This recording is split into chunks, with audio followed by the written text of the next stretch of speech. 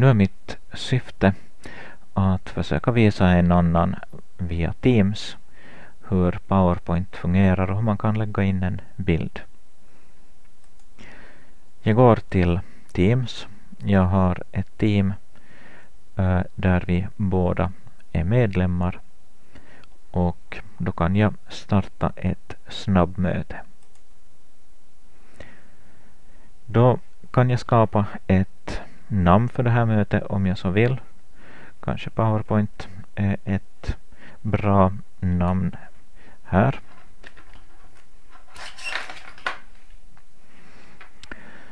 Och jag trycker på snabbmöte.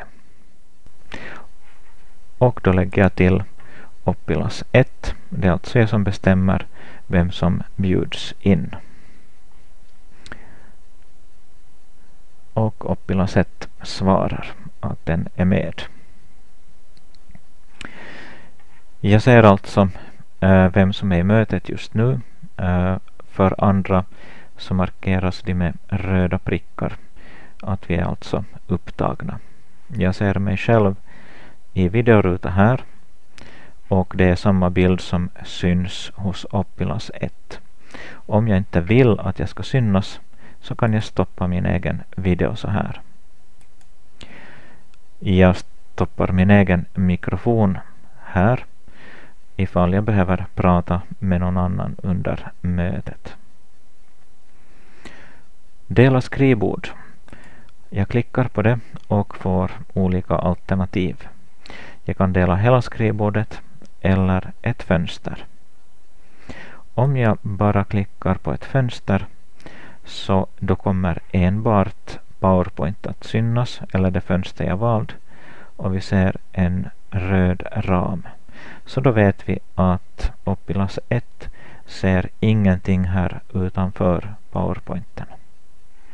Så vill jag då visa hur man ska dra in en bild så syns det inte så riktigt bra. Men det här är alltså bra ifall du har många fönster, har mail öppet och du vill inte att någon annan ska se eh, någonting förutom det som är viktigt här. Jag kan sluta dela och jag går tillbaka till dela och väljer hela skrivbordet. Och nu ser vi en, en röd ram kring hela eh, skrivbordet.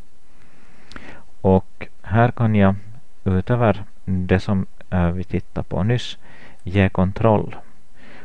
Och om jag nu ger kontroll så äh, kommer eh, äh, Oppilas 1 att kunna redigera och göra saker på äh, äh, min desktop. Vi ser att det finns två pilar och vi ser också äh, de här thumbnails på personerna. Så här är alltså jag som har ordnat mötet och nu har vi då Oppilas 1 som kan justera bildens storlek och egentligen göra vad som helst här.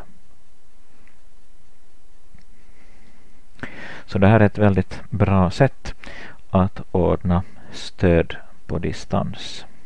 Vi är klar och jag avbryter kontroll och jag slutar presentera.